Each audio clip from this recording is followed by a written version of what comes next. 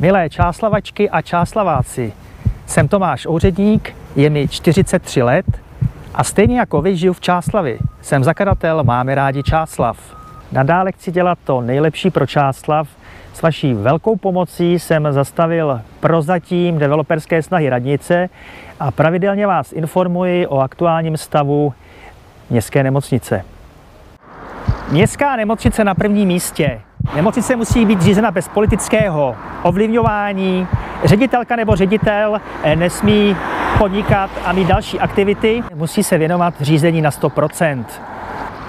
Občané potřebují zdravotní péči plnohodnotnou, kvalitní a dostupnou. Výstavba vždycky s občany. Radnice nesmí podléhat developerské lobby. V areálu Prokopa Holého musí občané ovšem vědět, protože projekt je v hodnotě až 1,5 miliardy a pokud by byl špatně udělaný, snížil by kvalitu jejich bydlení.